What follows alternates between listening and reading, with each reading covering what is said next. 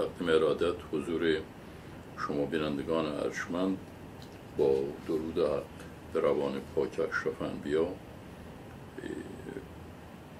ادامه می دهیم به تشریح آیه شماره 163 از آیه سوره دوم قرآن. در برنامه قبلی اشاره شد به موضوع وحدت اله وحدت معبود و ارتباط معبود با موضوع رب و معبود در مقابل رب و وظیفه و حق ما نسبت به معبود و نسبت به رب و نقش توحید در عبادت و رابطه عبادی بین عابد و معبود و مسائل جنبی مقدمتا توضیح داده شد. به معرفی متن آیه و صحبت در مقابل خود آیه با شما این آیه رو ادامه می دهیم و آغاز می کنیم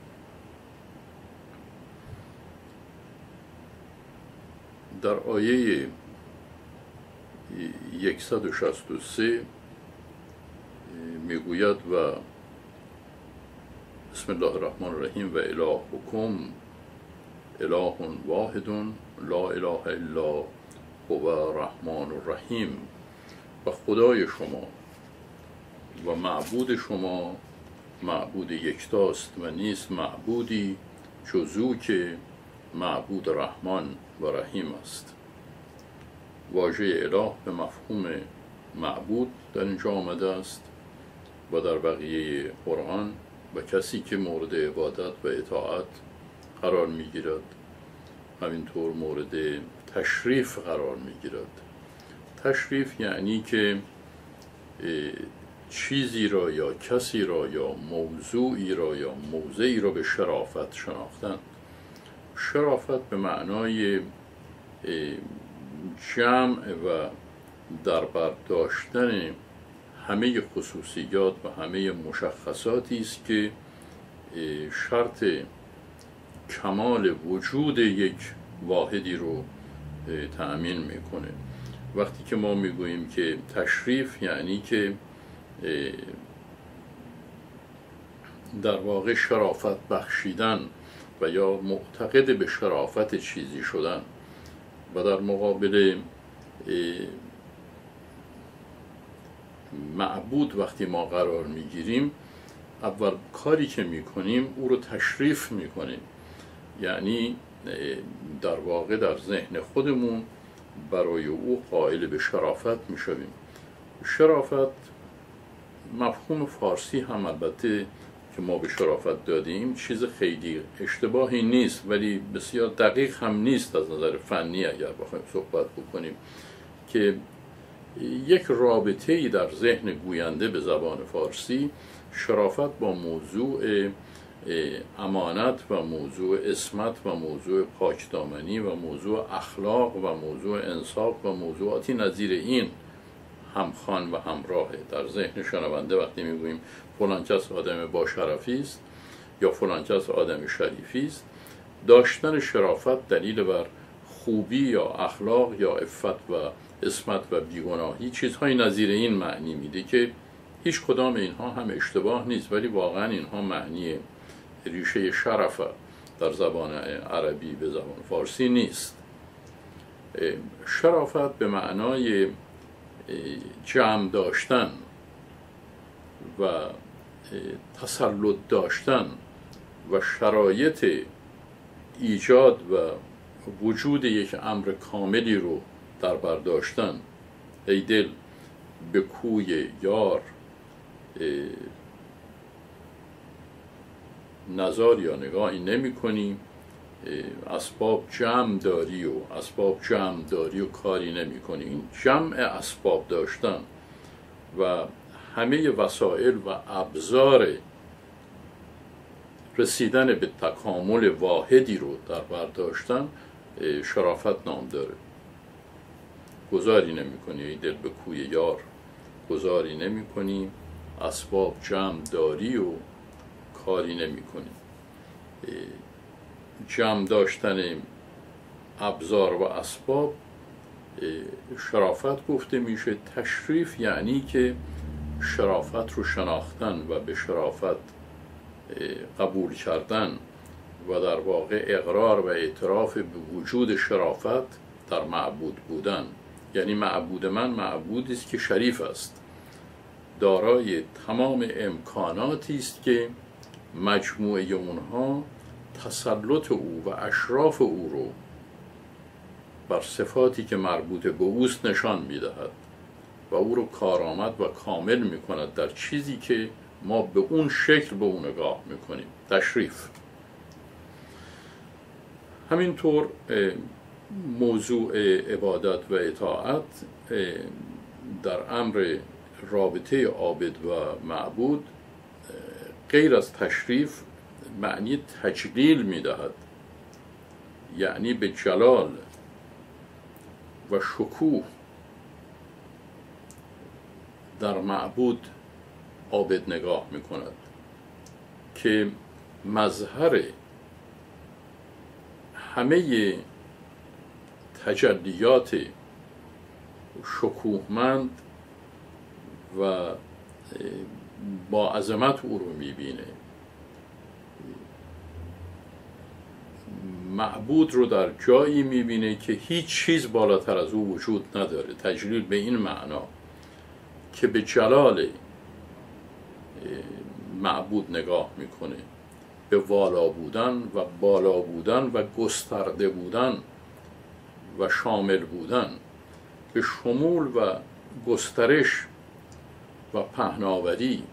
و در برگیرندگی نسبت به معبود اشاره می‌کنه که هم این معبود از تمام ابزار و لوازم برای اکمل بودن برخوردار است خودکفاس مستغنی است غیر قابل تغییر است احد است و چیزی شبیه به او وجود ندارد. اینها همه معنی تشریف می‌دهد. که شرافت رو در او می‌بیند شمول و گستردگی رو در او می‌بیند و همینطور تجلیل یعنی این شمول و گستردگی که در شرافت حق دیده می شود شرافتی است که بالاترین شرافت هاست و اونچه که در ذهن انسان می‌تواند از جلال و گسترش و برتری در نظر بیاورد او یعنی اون معبود دارای اون خصوصیات است. به این وسیله است که ما عبادت رو هم در اطاعت می‌بینیم هم در تشریف می‌بینیم به شرحی که گفته شد و هم در تعظیم می‌بینیم. یعنی وقتی که ما بزرگ میداریم معبود رو به عظمت او سر تسلیم فرود می آوریم یعنی هیچ چیزی رو در عظمت و در بزرگی معادل او نمی بینیم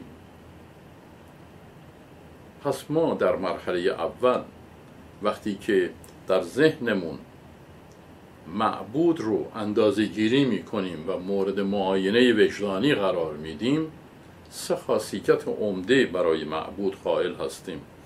یکی عظمت اوست. یکی جلال اوست و یکی شرافت اوست. یعنی وقتی که ما به معبود فکر می‌کنیم او رو در یک مثلثی یا بر فراز یک مثلثی می‌بینیم بر فراز یک هرمی می‌بینیم که هرم شرافت هرم جلال و هرم تعظیم یا هرم عظمت اوست.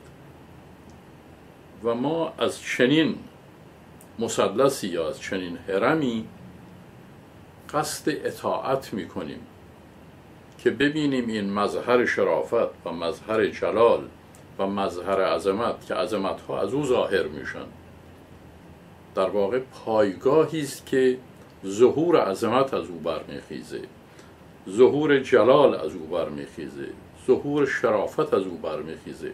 ما نمی‌دانیم که او چیست ولی می‌دانیم که پایگاهی است که از اون پایگاه شرافت برمیخیزه. جلال برمیخیزه عظمت برمیخیزه. اما جنس او و ذات او چیست او رو ما نمی‌دانیم. اما می‌دانیم که مؤثری است که مؤثر جلال است. مؤثر عظمت است. مؤثر به شکوه و بزرگی و به شرافت است. یعنی اینها رو همه را آثار او می‌بینیم. خود او رو هنوز هم نمی‌شناسیم. ولی می‌گوییم هرچه هست از او شرافت برمیخیزد. از او عظمت برمیخیزد. از او جلال برمیخیزد.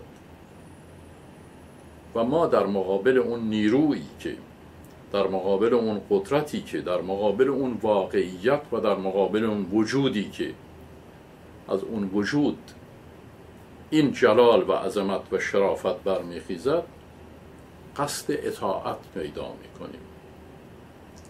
که ببینیم این نیرو که اسم او رو می‌گذاریم معبود. فقط اسم او رو از نظر اینکه هر بار این توضیحات رو تکرار نکنیم به او می‌گوییم معبود.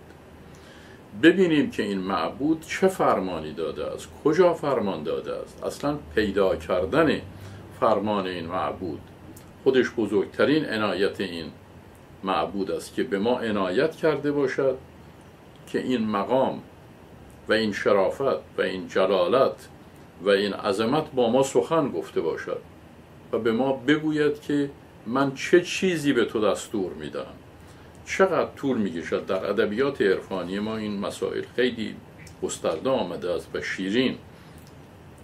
که چه لازم دارد که انسان بتواند زبان معشوق رو بگشاید و چقدر انسان بایستی که زحمت بکشد در مقابل معشوق که معشوق لب به سخن بگشاید و به ما بگوید که چه می‌خواهد. یعنی به ما بگوید که طلب من معشوق از تو عاشق چیست؟ همین قدری که معشوق با عاشق سخن بگوید. بزرگترین شادی معشوق شادی عاشق تأمین می شود خاچ عبدالله انصاری می‌گوید اگر یک بار بگویی بنده من. از عرش بگذرد خنده من. اونقدر می‌گوید که در من شادی ایجاد می‌کنی و اونقدر در من بزرگی ایجاد می‌کنی. در من رضایت ایجاد می‌کنی. اگر فقط یک بار منو بخوانی و یک بار منو منظور نظر بداری این است که معشوق اگر که یک کلامه با انسان صحبت بکند فقط بگوید ای بنده من. همین یعنی من تو رو به بندگی پذیرفتم. بزرگترین شادی رو به ما داده چه برسد به این که معشوق 6400 بار برای شما نامه نوشته باشد و با شما سخن گفته باشد؟ این است که ما از معبود سوال می‌کنیم که من به چه چیز تو اطاعت کنم؟ من الان قصد ایثار دارم قصد جانبازی دارم قصد اطاعت دارم قصد عبادت دارم. به چه چیزی اطاعت کنم؟ از چه چیزی اطاعت کنم؟ وقت معشوق لب به سخن میگشاید که به این نامه هایی که من برای تو بیش از شش هزار نامه برای تو نوشتم. به اون نامه ها نگاه بکن. اگر خواستی هر کدام از اون نامه ها به تو فرصت می‌دهد که اطاعت کنی. و وفاداری خودت رو و عابد بودن خودت رو ثابت بکنی و تسلیم بودن خودت رو ثابت بکنی. به اون نامه ها مراجعه کن و ببین که چگونه می‌توانی اطاعت بکنی. این است که بعد چهارم رابطه عابد با معبود رابطه عبادت است. پس یکی تشریف است یکی تجلیل است و یکی تعظیم است تا انسان به جایی می‌رسد که لیاقت پیدا می کند که از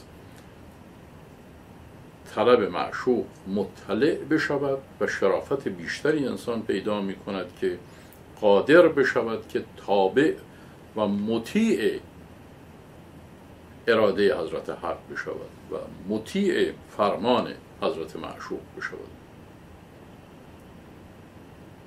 و مجموعه آنچه گفته شد یعنی وقتی که ما در ذهنمون همه شرافت ها و همه جلالت ها و همه عظمت ها رو مختص او می‌دانیم و مادون او می‌دانیم و او رو بر فراز همه اینها می‌دانیم و خود رو مفتخر می‌دانیم که این معشوق با ما سخن گفته و به ما نامه نوشته و ما اطاعت امر او رو می‌کنیم به مجموعه این داد و ستدها و تعاملات و اندیشه های ذهنی عبادت گفته می شود بنابراین هر وقتی که بعد از این می‌گوییم که من عبادت می‌کنم یعنی همه این هایی که عرض کردم یکشا در حال انجام اون هستم. واژه اله به مفهوم معبود میآید و معبود کسی است که مورد عبادت و اطاعت و تشریف و تجلیل و تعظیم قرار می‌گیرد. آنکه مطاع و معبود و محبوب است. برای کسی که عاشق و عابد اوست. غالبا رب در قرآن به مفهوم صفت فاعله حق در ایجاد و در پرورش آمده است و اله به مفهوم وجودی است که در معرفی او معرفی وظیفه و تعهد ما روشن می شود یعنی در واقع رب ما رو پرورش می دهد و مدیون هست به ما که ما رو پرورش بدهد. پدر ماست. هم باید ما رو تغذیه کند هم حمایت کند هم تربیت کند هم پرورش داد همه اینها وظیفه اوست. البته ما هم در مقابل او وظیفه داریم. ولی وظیفه رب نسبت به انسان بسیار وظیفه سنگینی است. وظیفه حرف شنوی ما هم به او بسیار سنگین است البته. اما در مقابل وقتی که ما به معبود نگاه می‌کنیم ما هیچ حقی به معبود نداریم جز این چی که خود او تعهد کرده باشد. و یکی از تعهدات معبود این است که رب ما باشد. این تعهد معبود است. و بعد همه تعهدات رو در دامان یک شخصیت دیگری به نام رب قرار داده. پس خود معبود به عنوان معشوق فی نفسه به ما بدهکار نیست. ما عاشق هستیم. می‌خواستیم عاشق نشیم. حالا که عاشق و عابد شدیم در واقع ما دارای مسئولیت و وظیفه هستیم در مقابل معشوق و معبود که دارای حق. بر اون چه که هست که ما از اون به نام مسئولیت نام می‌بریم. به بیان دیگر وقتی ما می‌گوییم رب مشخص می شود که خدا در صفت ربانیت چه تعهدی کرده و به کدام عهد مجبور و مقرر به وفا شده. وقتی می‌گوییم اله اشاره به مخلوق وظیفه و تعهد مخلوق می شود که ما چه وظیفه‌ای و چه تعهدی به او داریم که مجبور و متعهد به وفای اون هستیم. معبود و رب. اینها پیکر یک موضع و پیکر یک هدف واحد هستند که دریافت ها و پرداخت های ما بین این دو انجام می شود صفت رب صفت رحمان و صفت رحیم و صفت رب العالمین است. و عین همین صفات در معبود وجود دارد. معبود هم رحمان و رحیم است. رب هم رحمان و رحیم است. و این نشان می دهد که ربوبیت و عبودیت هر دوی اینها در حالی که در ظاهر امر یکی طلبکار و دیگری بدهکار به نظر می رسد ولی همه اینها ابزار صفات رحمان و رحیم است.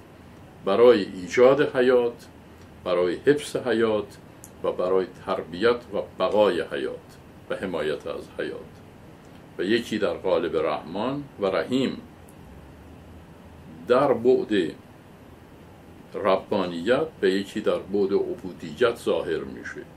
ولی رب و عبد و معبود در رابطه ای هستند با همدیگه که در بین اینها انسان وظیفه خودش رو نسبت به خدا در جزئیات و در طبقات و مراتب کاملا معین تشخیص می‌داد.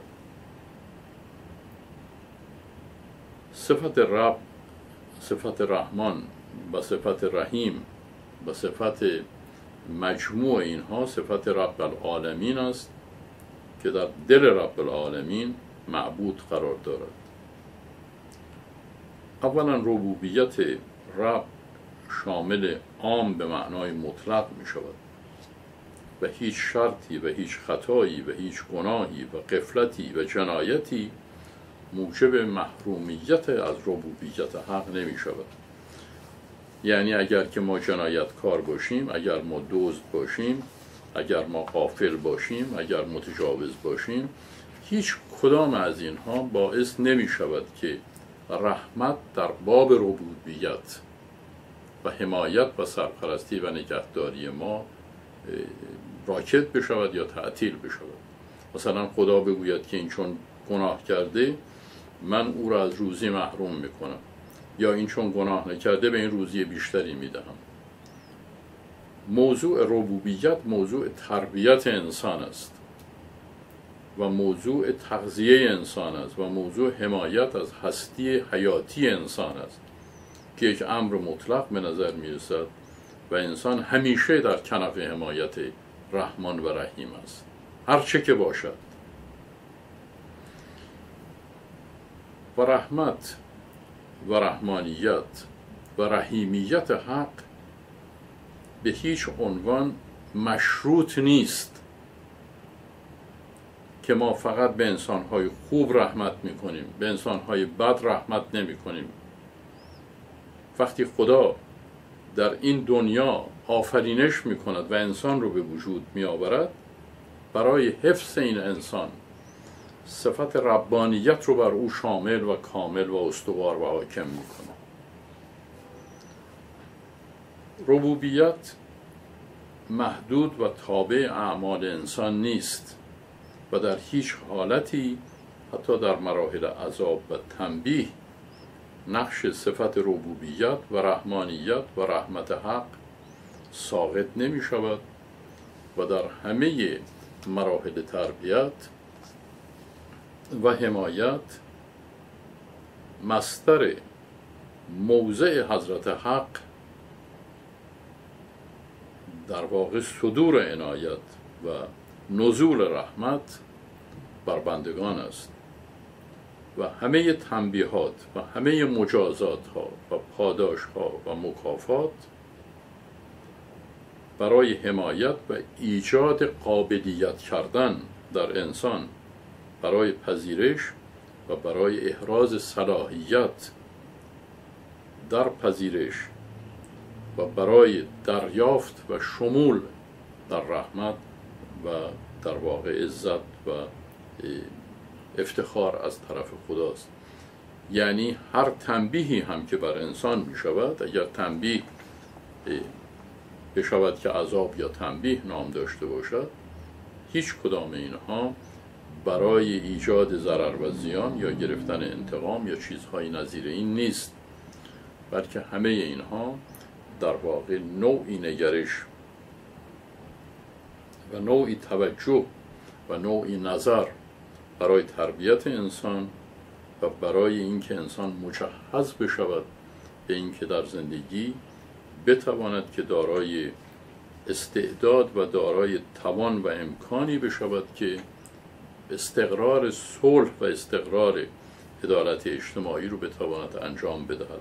خلاصه ربانیت در این است که رب وظیفه دارد که انسان رو نوعی تربیت بکند که انسان در باب استعداد و توان قادر باشد از حس اختیار استفاده کند از نیروی اختیار استفاده بکند و بتواند که برای نوع بشر مفید و مؤثر باشد. اله همچنان که گفته شد اشاره به صفت معبود و محبوب و مطاع است که در واقع معرف وظایف و تعبدات مخلوق در مقابل خالق است. وقتی او معبود است ما عابد و عبد او هستیم. و این اوج تکامل و تصاعد نوع بشر و ارتفاع نوع بشر در قربت و نزدیکی به خداست. دو صفت الله در این آیه آمده از رحمان و رحیم. یعنی معبود شما آنکه شایسته عبادت است باید دارای رحمانیت و دارای رحمت باشد. و انسان در واقع عابد به رحمان و رحیم می شود که نام اله بر خود گرفته است. قرآن در اینجا یک قدم پیش می نهد و از موصوف و شرط شناخت موصوف به شرط تعریف صفت می پردازد. که می‌گوید خیلی خوب. معنی معبود این است که معبود معشوق تو باشد. خیلی مورد عشق تو باشد مورد علاقه باشد. و دیگری که معبود مورد طاعت و عبادت تو باشد. خب الان تو می‌خوای یک کسی رو پیدا بکنی که از او اطاعت کنی به او عبادت کنی تسلیم او بشوی. ما که خدا رو نمی‌شناسیم که تسلیم خدا بشوی. ما باید تسلیم احکام خدا بشویم و وجود رحمان و رحیم احکام خداست. ما تسلیم رحمان بشویم. تسلیم رحیم بشویم. چگونه تسلیم می‌شویم؟ تسلیم معبود او می‌شویم که رحمان و رحیم است. بنابراین هی این دایره شناسایی تنگتر می شود تا جایی که با دو سه عبارت کاملا مسیر مشخص و روشن و تابنده می شود پس ما باید عابد باشیم برای معبود. و گفتیم عبادت یعنی اطاعت. و تسلیم شدن. و رأی دیگری رو بر خود ترجیح دادن و پذیرفتن. حالا می‌خوایم این کارها رو انجام بدیم در دنیای خاکی. باید سراغ معبود برویم. معبود رو شناسایی کنیم تا بتوانیم تابع او بشویم. و اگر این کار خطیر رو اشتباه انجام بدهیم ممکن است که این معبود شیطان بشود. ممکن است بدتر از شیطان بشود. و ما در واقع پرستنده او بشویم تابع او بشویم. این است که نکته بسیار مهم است. که انسان چطور معبود رو شناسایی می‌کند. به این خاطر است که قرآن به دو سمت و دو صفت معبود اشاره می‌کند. تو معبود رو نمی‌بینی. معبود خداست. خدا که دیدنی نیست. تو نمی‌توانی که با خود معبود در ارتباط تعامل عبادی برایی و با او عشق ورزی کنی و واقعا او رو لمس کنی. و با حسیات خودت او رو بشناسی.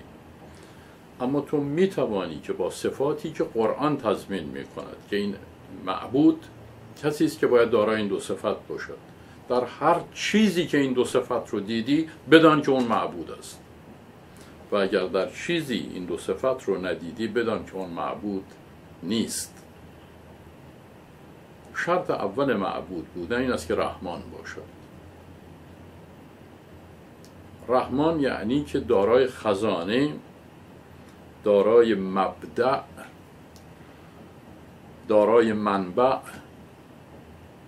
دارای مستر و دارای منشأ نزول و صدور و فرستادن رحمت باشد.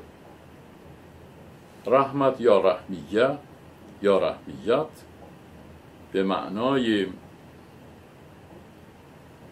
حیات و حیاتی بودن و حیاتی کردن است. میگن رحمت کرد یعنی حیات بخشی کرد. یعنی یک عنایتی کرد. یک فتوتی کرد. یک بخششی کرد یک دهشی کرد که در اون دهش و در اون بخشش چیزی که تقدیم کرد یا چیزی که پرداخت کرد یا چیزی که داد نوعا و جنسا حیات بود زندگی بود هستی بود هستی داد بود. رحمان در مثال در برنامه های قبل هم عرض کردم رحمان مثل یک چشمه است که چشمه آب حیات باشه. چشمه ای باشه که حیات از او بیرون میاد و حیات از او جوشان و غلیانه. حالا این چشمه جوشانی که حیات درش هست و تولید کننده حیات و هستی زاینده حیاته یکی از صفات معبود باید این باشه که وقتی به معبود نگاه می‌کنید ببینید که این معبود مشخصات ایجاد و خلق آفرینش رو داره یا نه؟ یعنی معبود شما باید خالق باشه. چی خلق می‌کنه؟ نور خلق می‌کنه و حیات خلق می‌کنه. آیا این کسی که شما به عنوان معبود او رو میپذیرید این معبود دارای این خصوصیات هست یا نیست؟ یعنی این دارای خاصیت اون چشمه جوشان و در حال قلیانی که از اون مرتب حیات بیرون میریزه و حیات تولید میشه و حیات ایجاد میشه. و این حرکت همینطور ادامه داره. یکی وجود این منبعه یکی تعامل این منبع با عالم هستی است. یعنی در یک جایی در واقع هم رحمان است یعنی مرکز و مبدع و پایگاه حیات است و یکی رحیم است که حیات از این تسری می کند و حیات تکسر پیدا می کند و تأثیر پذیر می شود و از رودخانه رحیم عبور می کند و به دریای رحمت می ریزد. می‌گوید آیا معبود تو دارای این دو خصوصیت هست؟ رحمان است معبود تو؟ رحمان فقط به اسم نیست. آیا قدرت رحمانیت دارد؟ آیا اون چشمه جوشانی که حیات رو ایجاد می کند در این معبود تو وجود دارد یا ندارد؟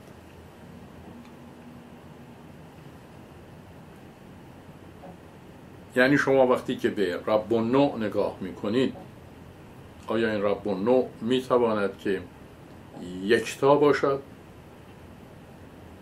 احد باشد؟ سمت باشد. هیچ وقت تغییر نکند. و به یک شغل بیشتر آشنا نباشد. ایجاد خلقت ایجاد حیات. یک کارخانه واحدی است که یک محصول هم بیشتر ندارد. تولید حیات می کند یک کارخانه هم در کنار اوست که این حیاتی رو که این کارخانه اول تولید کرده اون کارخانه دوم حفظ می‌کنه. چون این کارخانه اول حیات تولید می‌کنه بیرون میریزه. اگر کارخانه دوم این حیات رو حفظ نکنه این حیات از بین میره. چون این حیات باید مرتب تکرار بشه. یعنی حیات مرتب تجدید حیات و تجدید بودن می‌کنه. اون عامل تجدید و در واقع تسری و تکثیر حیات این زایش متوالی و متواتری که حیات انجام میده رحمت انجام میده رحیم نام داره.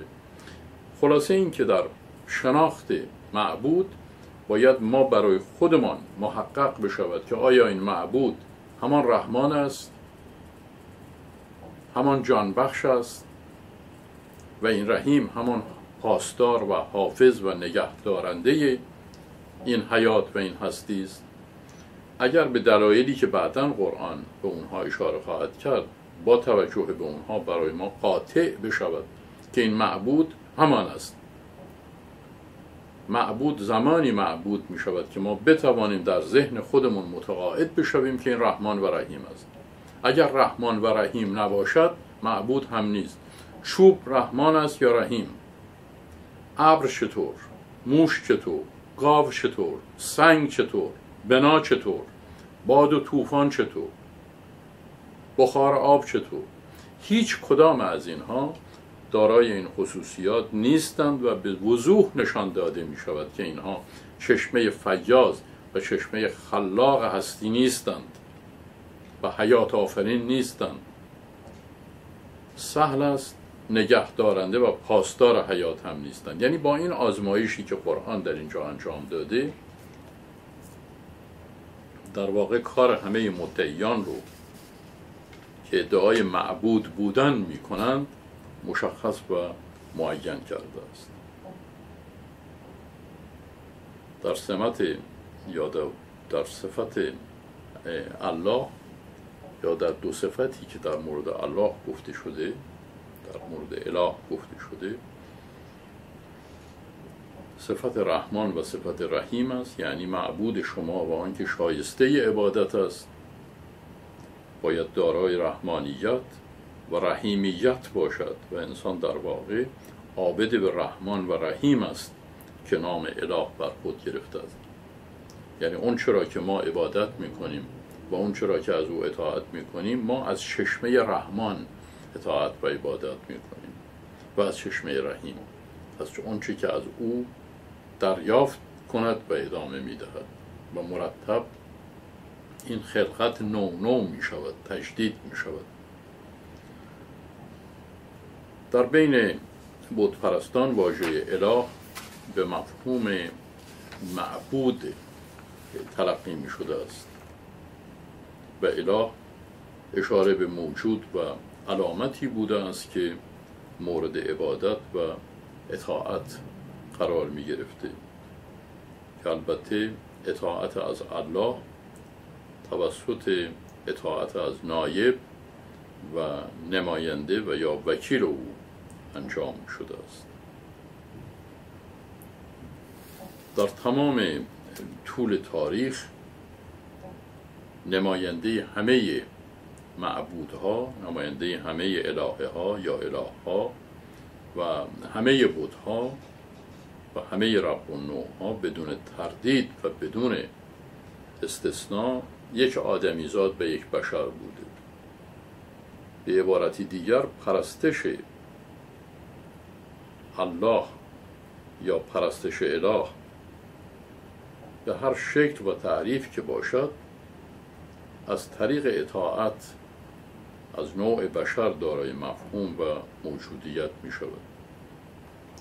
یعنی همه بود پرستان و همه سنگ پرستان و همه ستاره پرستان و همه حیوان پرستان و گیاه پرستان و همه کسانی که عوامل طبیعی رو میپرستند همه و همه در کل. اینها به منظور عبادت به خدا و به اله در عمل و در واقعیات به انسانی دیگر عبادت می کردند خوب توجه کنید که در این زمینه چه می گذرد همه کسانی که بود پرست بودند سنگ پرست بودند ابر باد ماه ماهی آب جنگل حیوان هر چی رو می پرستیدن رب و نو سنگ بود ستاره خورشید. اینها به هر ترتیب با این عوامل مختلفی که معبود بر اینها نام میگذاشتند به اینها عبادت می‌کردند و از اینها چیز می‌خواستند با اینها چیز می‌دادند چیز می‌گرفتند با همین سنگ و جانور و ابر و باد و این حرفا. اینها در عمل و در واقعیت هیچ کدامشون با این خداها در ارتباط نبودند به هیچ عنوان. هیچ آدمی نمی‌تواند با سنگ در ارتباط باشد به عنوان یک خدا. مگر اینکه یک انسانی در اونجا ظاهر بشود و از زبان سنگ با انسان سخن بگوید و از درد این معبود از درد این سنگ بیجان بی صدا از درد او سخن بگوید و مردم رو به دعوت به پرستش او بخواند. و ما می‌بینیم که همه کسانی که دین بودپرستی و دین اشتراکی دارند دین شرک دارند همه اینها خدا رو میپرستند خدای خودشون رو که تا اینجا خیلی خوبه. اما همه اینها در یک زایه با هم شریک هستند و اون این است که خدایان هیچ کدام از اینها زبان ندارد کلام ندارد و کلام خدای اینها در کلام انسان ها متجلی شده و در کلام انسان ها زندانی شده و در کلام انسان ها ابدی شده. یعنی ما نمی بینیم که هیچ خدایی لاقل برای یک مدت کوتاهی به یک آدمی گفته باشه یک سنگی یک بشر رو انتخاب کرده باشه به این بشر گفته باشه آقای بشر شما در پنج سال آینده به جای من سنگ به جای من بود با مردم سخن بگو. ولی بعد از پنج سال قوانین دین من باید نوشته بشه و بعد از این تا دنیا دنیاست مردم از کتاب من استفاده کنند نه از بیان من. من چون میمیرم ولی کتاب نمیمیره. و بنابراین ما دین رو به حالتی می‌شناسیم که مردم به جای پرستش و به جای تسلیم به یک انسان دیگه و به جای اینکه دین رو از زبان و دهان یک انسان واسطه متولی یا متصدی باشه از او بپذیره. به جای این کار اگر انسان بتواند که تابع فرمان خدا باشد هم از خدا فاصله بگیرد هم از نمایندگان خدا. یعنی به جای اینکه چون خدا هم که با کسی حرف نمی‌زنه خدا هم مثل همون بت است که خدا با کسی سخن نمی‌گوید. خدا با کسی کلامی نمی‌گوید. هیچ کس.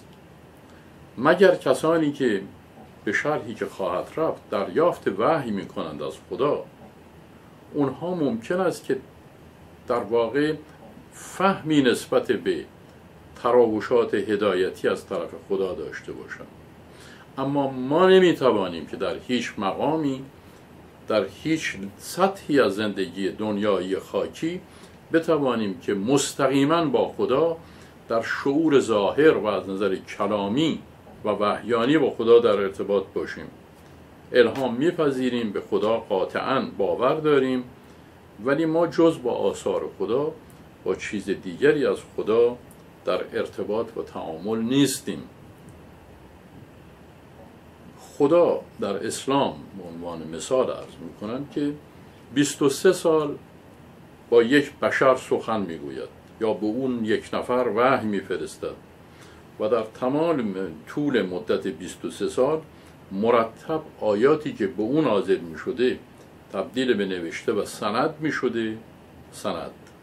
و این سند در اقصانقات دنیا که مسلمانان بودن پخش می شده و قاریان که امروز کارشون به سر قبرهای مرده ها کشیده در اون زمان در واقع یک نوع ضبط صوت و یک نوع پخش صوت بودن که این آیه ها رو میشنیدن تکرار می‌کردن ملکه اونها می‌شد بعد سفر می‌کردن به شهرهای مختلف. برای دیگران برمیخواندن و دیگران حفظ می‌کردن و هزاران حافظ در هر دوره وجود داشته که حافظین قرآن بودند. اما بعد از مدت 23 سال در همون مدت 23 سال هم فرمان قرآن کار می‌کرده نه فرمان رسول اکرم. مردم مستقیما با قرآن در ارتباط بودن و استنباط های خودشون از قرآن با هم به معارفه میگذاشتن. منظور این که وقتی پیامبر از میان برداشته میشه و رحلت می‌کنه مردم میمانند به این کتاب. البته باز در تفاصیر و در حدیث و اینها هست که پیامبر در زمان رحلت می‌گوید من شما رو با دو چیز ترک می‌کنم. در صورتی که من فکر می‌کنم پیامبر گفته است که من شما رو با یک چیز ترک می‌کنم. کتاب. نگفته است که من شما رو با اطرتی با اطرت خودم و کتاب با سنتی سنت خودم به کتاب ترک می‌کنم. یعنی برای شما دو چیز می‌گذارم. بعد از این همه شما مشرک بشوید. یکی کتابه و یکی هموزن کتاب سنت خود منه. رسول اکرم چنین اتهامی بهش وارد کردم که در زمانی که رحلت می‌کرد گفته از من دو چیز برای شما به وصیت گذاشتم. یکی کتاب و یکی سنت من. توجه بکنید ببینید سنت پیامبر به زمان پیامبر به کجا رسیده. معادل کتاب شده. و ما به این شرک و به این کفر افتخار میورزیم و اینو تکثیر می‌کنیم. این اسباب شرم و خجالت رو. و این اتهام رو به ساحت بزرگ پیامبر اسلام. بعد از 23 سال مقاومت و زجر کشیدن و تحمل کردن و فرار کردن و روز و شب نداشتن و در بیامنیتی کامل زندگی کردن و وفادار بودن به خدا و امین بودن در کار خدا این اتهام رو ما به او وارد می‌کنیم که در زمانی که رحلت می‌کرد مشرک شده بود. به مردم می‌گفت که من دو چیز رو برای شما می‌گذارم. یکی این کتاب رو که از خدا گرفتم برای شما می‌گذارم و یکی سنت خودم رو برای شما می‌گذارم. یعنی سنت من و این کتاب برابر هستن و یکی بدون دیگری نمی‌تواند زندگی کنه یعنی سنت من وابسته به قرآن است و قرآن وابسته به سنت من. یک قسمت از اون رو میپذیریم که سنت رسول اکرم مربوط می شود به قرآن وابسته به قرآن است. سنت او سنت قرآن است. این رو میپذیریم. اما از اون طرف که سنت قرآن سنت رسول باشد که هست. سنت رسول تبدیل به عکس برگردان و بدل می شود فتوکپی می شود نسبت به سنت الله. خوب توجه کنید. سنت من محمد. عین سنت قرآن است. خب اگر این عینیت وجود دارد جناب رسول به سنت شما چه احتیاجی است؟ اگر سنت شما همان قرآن است اگر سنت شما همان سنت قرآن است به سنت شما چه نیاز؟ و اگر سنت شما سوای قرآن است که اون سنت برای شما برای من نیست. به این سنت دوگانه من تسلیم نمی شوم فقط ان تسلیم سنت تو نمی شوم اگر سنت تو با قرآن متقایر است و اگر مطابق است با قرآن که چرا از سنت تو اطاعت کنم وقتی اصل این سنت در قرآن است؟ آیا سنت قرآن شبیه سنت رسول اکرم است؟ در مواردی بلی در مواردی خیر. وقتی که رسول اکرم دریافت وحی می کرده است البته سنت قرآن شبیه سنت او بوده است. اصلا یک سنت واحد بوده است.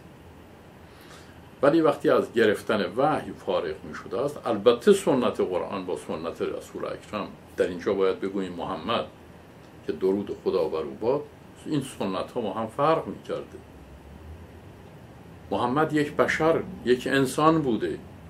قرآن یک خداست کلام خداست. چگونه اینها می توانند که سنت این دو یکی باشند؟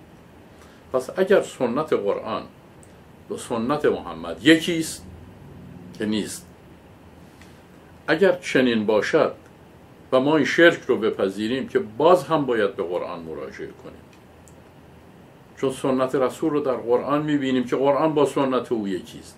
و اگر جداست و تفاوت می‌کند آیا بین سنت قرآن و سنت محمد کدام رو باید دور ریخت اگر اینها با هم دیگه تطبیق نمی کند پس اگر تطبیق می کند یکی کفایت می کند که قرآن است.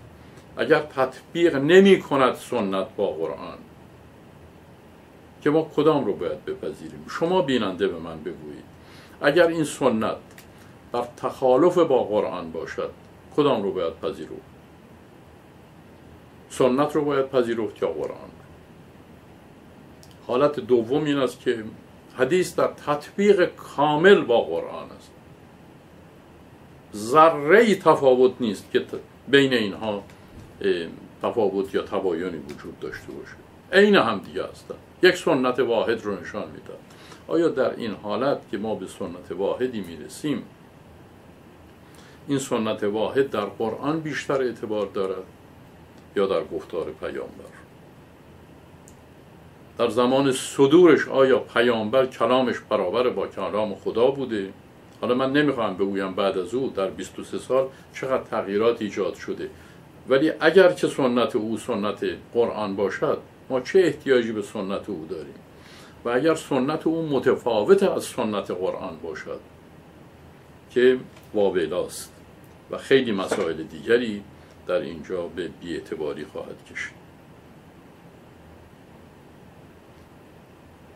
گفتیم که همه بود پرستان و همه سنگ پرستان اینها چیزی رو که به نام بت میپرستیدند با این بت در ارتباط نبودند و از این بت کتابی بر جا نمیماند. آدم هایی بودند که نسل در نسل در خانه این بت ها بزرگ شده بودند. از طریق این بت ها امرار معاش کرده بودند و به زندگی ادامه می‌دادند و فرزند رو بزرگ می‌کرد تربیت می‌کرد او مسئول می‌شد و تا امروز این کار ادامه پیدا کرده. بت پرستی ارتباط با بت ندارد و کسانی که بت پرست هستند تا آخر دنیا تا پای دروازه های جهنم انسان با انسانی دیگر سخن می‌گوید. و سنت سنگ رو از زبان انسان میشنود و مسئولیت خودش رو در مقابل قربانی کردن دختران باکره در مایا دین مایا در مکزیک از یک انسان دریافت می کند. ابر با انسان سخن نمی‌گوید گندم و گاو و موش با انسان سخن نمی‌گوید این انسان است که از طرف آنها با انسان سخن می‌گوید و این انسان است که پایه دین رو می‌گذارد دین شرک نماز شرک آین شرک والله اینها مربوط به اون سنگ بیچاره نیست. اینها مربوط به بشر دوپاست که با زرنگی خاصی سنگ و چوب و بناب و گل رو به کار گرفته و به بیگاری گرفته و از اینها خدا ساخته و این خدا رو میفروشه و با این معامله زندگی می‌کنه. قرآن وقتی که نوشته میشه حتی در زمانی که نوشته بوده قرآن بر مردم حاکمیت می‌کرده نه محمد. اما با رحلت رسول اکرم که از این دنیا به آسمان ها پرواز می‌کنند کار تعلیم و تربیت به کتاب واگذار میشه. در زمان خود ایشان هم به کتاب واگذار و مردم با کتاب داد و ستد می‌کنند از کتاب می‌گیرند و از کتاب می‌فهمند. یعنی حکومت و حاکمیت و تسلط کلام و قانون و نوشته بر انسان است. نه انسان بر انسانی دیگر. یعنی برداشت های ما و قوانین و احکامی که شامل حال ما می شود تابع شرایط احساس و عاطفه مردم همزمان و مقارن او نیست. که اگر مردم امروز طور دیگری فکر کردن قرآن معنی دیگری پیدا بکند. مردم فاقد این اعتبار و فاقد این اختیار هستند که بتوانند با اتکا به فهم خودشون به صورت منفرد و بدون ورود به شورا بتوانند که فقه رو تبدیل به قانون بکنند. فقه به معنای فهم. یعنی برداشت ها و در واقع معلومات خودشون رو از کتاب تبدیل به قانون بکنن و به عنوان قانون بر مردم تحمیل بکنن. برای جلوگیری از همین امر اونچه که برای ما به جا مانده است فقط کتاب است. و این کتاب می‌گوید من خودکفا هستم و هست. این است که نباید از چارچوب این کتاب بیرون رفت و همونطور که عرض می کردم همه بود پرستان و همه سنگ پرستان اینها همه دارای نمایندگی هستند. یعنی انسان ایجاد دین می کند یک انسان باهوش یک دینی رو پایسازی می کند با توجه به نکات روانشناختی در جامعه. که انسان چقدر توجه به دختر داره توجه به پسر داره. پیرمردها چقدر دوست دارن به دخترها تجاوز کنن. پیر زنها چقدر دوست دارن که بچه های کوچک به اونها تجاوز کنن. این اندیشه ها و این افکار شیطانی که در ذهن انسان ها هست یک کسی پیدا میشه و با داشتن علم روانشناسی یا فن روانشناسی سعی می‌کند که بر این بیماری های مردم تسلط پیدا بکند و حکومت پیدا بکند. همون چیزی که قرآن در آیه ما قبل خایانی قرآن در آیه در سوره در سوره 113 می‌گوید که بسم الله الرحمن الرحیم قل اعوذ برب الفلق من شر ما خلق و من شر قاسق اذا وقب بگو پناه می‌برم به خدای فلق به خدایی که برش به تاریکی می‌زنه از دل شب از درون دل شب سپیدی صبح رو از تاریکی بیرون میاره به اون خدا به اون رب من شر ما خلق از شر اون چیزی که خلقت شده. از اون چیزی که به وجود آمده و خیر بوده و ما با داشتن نیروی اختیار و توان و استعداد او رو تبدیل به شر کردیم. و من شر قاسق اذا وقب و از شر و بدی و زشتی و ضرر و زیان تاریکی وقتی گسترده میشه. وقتی تاریکی وقت موضعی یه جا خاموشه یه جا روشنه یه جا تاریکه یه جا چه است یک وقتی می‌بینید که تاریکی چنان چتر بر انسان فرو میافکند که ریچ روزنه روشنایی در او دیده نمی‌شود و هر چه هست و نیست تاریکی محض و مطلق است. من شر فاسق نزا و من شر نفاسات فلوقت و بگو پناه می‌برم به خدا. بگو پناهنده می‌شوم به خدا یعنی نزدیک می‌شوم به خدا. می‌روم پهلوی خدا و دور می‌شوم از شیطان. در مقابل نفاسات در مقابل دمیدن ها در مقابل نفس کشیدن ها نفخ دادن هایی که من شر نفاسات فی از دمیدن ها از در واقع تنفس کردن ها از فرستادن پیام های نامفهوم از وسوسه کردن و از نفس کشیدن و نفس بخشیدن. نفس یکی با سین و یکی با سه نقطه منظور من هست. که در این آیه می‌گوید که بگو پناه می‌برم به خدا.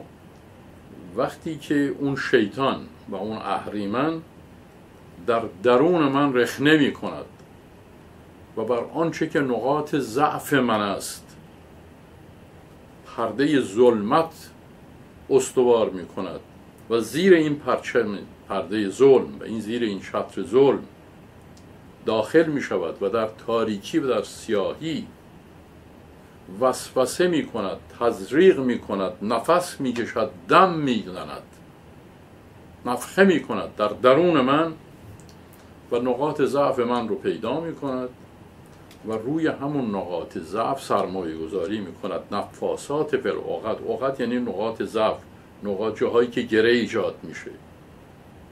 جایی که راه بند میاد راه عبور نداره. این نقاط ضعف بشر. مثلا در مورد عقده من این است که یک روزی بزرگترین تلویزیون جهان رو داشته باشم. عقده است دیگه این. یا اینکه من عقده دیگری که دارم این است که معروفترین آدم روی کره زمین بشوم. عقده دیگری که دارم این است که ثروتمندترین آدمی بشوم که از طریق تلویزیون ثروتمند شده. همینطور از این عقده ها زیاد دارم. کار نفاس این است که این عقده ها رو شناسایی می‌کند و برای من یک دینی به وجود می آورد یک دینی خراتی می کند یک دینی معماری و طرح می کند که این نیازهای بیماری من رو درمان بکنه. حالا ممکن است که من بیماری های دیگری هم داشته باشم. از تجاوز به دختر بچه ده دوازده ساله لذت ببرم. حالا این بار نفاس من نفاسی خواهد بود که می‌گوید بیا یک دین جدیدی درست کنیم که دنیا رو بگیره و این دین آزاد کردن رابطه جنسی و ثواب داشتن و رضایت خدایان رو جلب کردن. هر وقتی یک پیرمردش از هفتاد سالی رو بیارن با یک دختر هشت نه ساله هم بستر کنن در اثر این کار خدایان به رضایت می‌رسند. عجب دین خوبی است. دین اینجا پایگذاری میشه. و یک تعدادی هم مرید پیدا می‌کنه یک تعدادی هم قربانی پیدا می‌کنه. کسانی که مرید این دین می‌شوند دارای قدرت می‌شوند. و با پول و ثروت و قدرت این دین رو بزرگ می‌کنند. و این دین بزرگ و عظیم به جان مردم میافتد و هرچه دختر بچه نابالغ است به سن 8 9 سالگی 10 سالگی می‌گیرند و تسلیم این کسانی می‌کنند که دین اونها به اونها گفته است که دختران باکره رو قربانی کنید. اول تجاوز کنید به اونها و بعد از بالای کوه اونها رو بندازید پایین که خدای بیرونی راضی بشود. بیرون خدایی نیست که راضی بشود یا راضی نشود. تو ذهن کثیف و بیمار خودت رو خدا مینامی. خدایی نیست. خدای بیمار تو در وجود بیمار توست. اون خدا رو می‌سازد. چه کسی این کار رو می‌کند؟ طراح دین. دین شیطانی. اسم طراح دین شیطانی در قرآن چیز نفاس. با سیس نقطه. او هم معنی نفس کشیدن و دمیدن و نخبه دادن می‌دهد که او در تو میدمد. و او برای تو دین ایجاد می کند این است که همه این دین ها رو شما در نظر می‌گیرید غیر از دین توحیدی دین توحیدی نیازهای بشر رو. حالا یا نیازهای سالمه یا نیازهای بیمارگون است. نیازهای سالم واقعا در اینجا نمی‌تواند که مشمول واقع بشود. برای اینکه کسانی که سالم هستند و نیاز دارند نیازهای سالم رو تبدیل به دین نمی کنند چون آدم های خوبی هستند سالم هستند. آدم های مریض و دیوانه و سادیسمی هستند.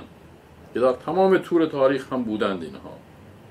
از آزار بقیه لذت می‌برند و برای آزار دادن احتیاجی به قدرت ثروت دارند که قدرت و ثروت خودشون در ارزای شهوت های اونها استفاده بکنن سرمایه گذاری می‌کنن در استقرار دین هایی که دین مردم آزاری دین جادو و جنبه دین خرافه دین آدم کشی دین تجاوز به دیگران دین خونریزی دین ایجاد وحشت و خسارت و عدم امنیت برای جامعه بشری است.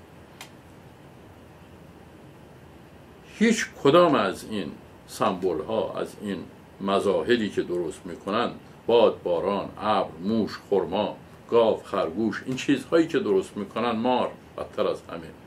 هیچ کدام اینها حرف نمیزن تا به حال هم هیچ کس نشنیده که هیچ خروسی با کسی سخن بگوید. هیچ مجسمه سنگی خرگوش با کسی سخن بگوید. غیر از اینجا در آمریکا در غرب آمریکا در اون معبدی که در منطقه ملیبو ساختن که اون خرگوش های سنگی حرف می‌زنن. ولی همه اینها به وسیله انسان دو یک سر دو پا حرف می‌زند. این انسان است که پایه دین می‌گذارد. خرگوش سنگی شعور ندارد که دین به وجود بیاورد. مردم که میگن این دین خرگوش پرستی است. کجای این دین خرگوش پرستی است؟ این دین انسان پرستی است. انسانی که اون انسان گفته است که تو این خرگوش رو میپرستی. یعنی انسانی است که پشت خرگوش مخفی شده.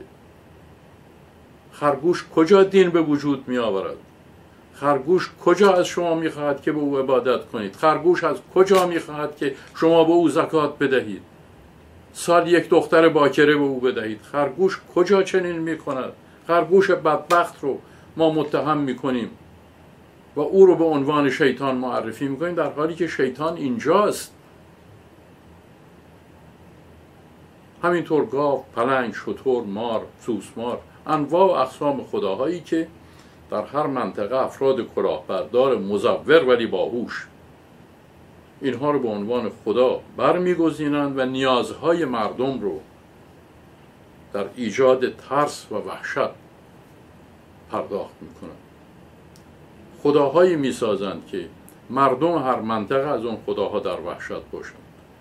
و بعد تا پایان هستی تا وقتی هستی ادامه داره این کسانی که با این عوامل صحبت می‌کنند و ورسه اونها اینها در واقع متولیان این معابدی هستند که در اون معابد خدای سنگی با انسان سخن می‌گوید.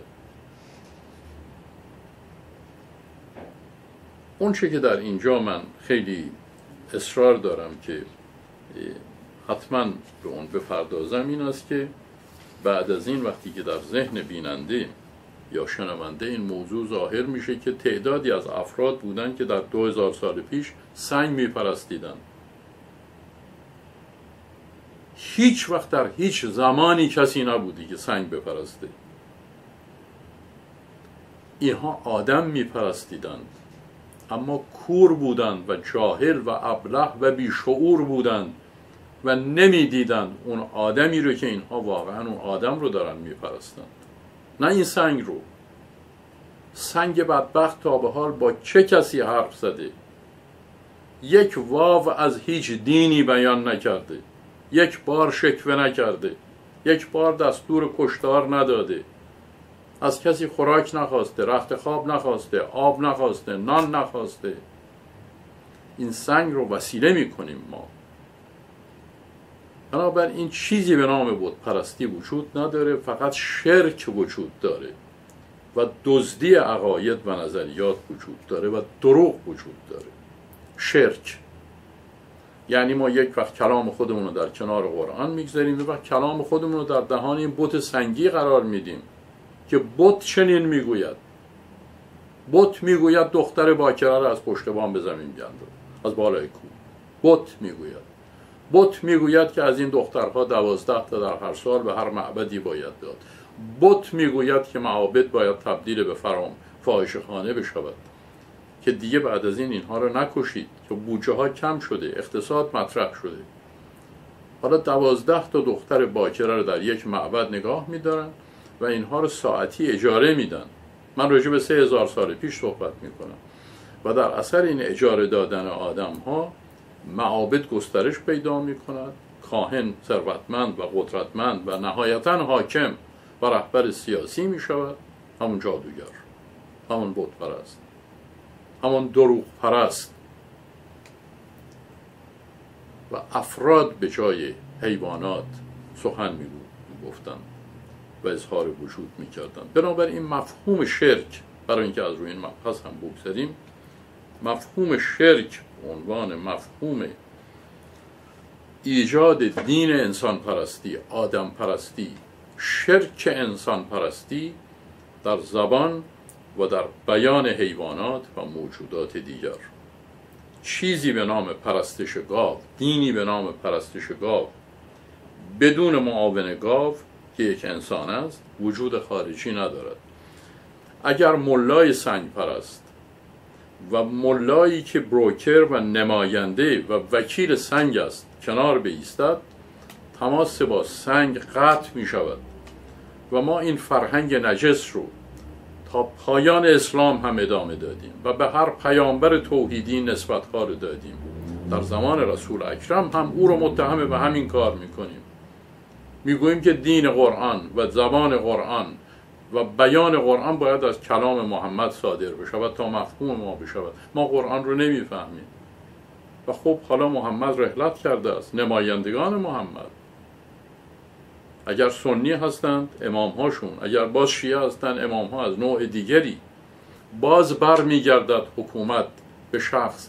باز دین از خدا جدا می شود و به شخص پیوند پیدا می کند و شخص به جای خدا سخن می‌گوید. در حالی که این قرآن می‌گوید این کتاب برای شما کامل است و تمام است. خارج از این قرآن نروید و به خارج از این قرآن مراجعه نکنید. از انسان برای فهم قرآن کمک نگیرید. هر انسانی می‌تواند که برای فهم به قرآن اظهار عقیده کند و قرآن رو برای خود بیاموزد. و در زندگی به کار بگیرد. انسان احتیاجی به این ندارد که قرآن را از دیگری بیاموزد و دیگری به عنوان مربی و به عنوان مفتی و به عنوان مبدع و مرجع و مرکز تقلید و مرجع تقلید او باشد.